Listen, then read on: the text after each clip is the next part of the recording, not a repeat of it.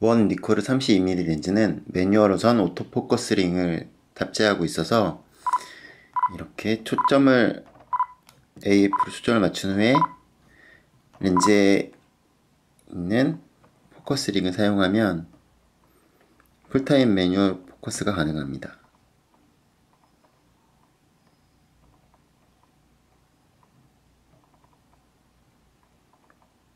이렇게 앞에 초점을 맞추고 포커스링을 사용해서 초점을 이동할 수 있습니다.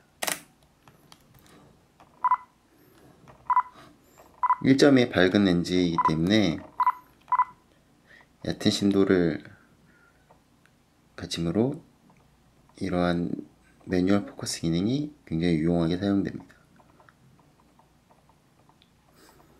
F를 잡고 포커스링을 회전시키면 초점 맞는 부위가 확대됩니다.